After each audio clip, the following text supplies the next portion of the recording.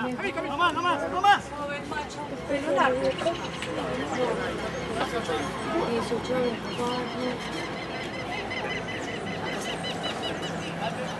cuatro machos de pelo largo.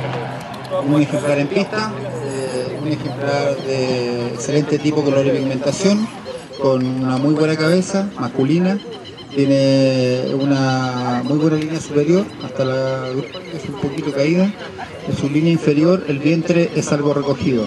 Eh, tiene muy buenas angulaciones posteriores, su angulación anterior debería ser más marcada.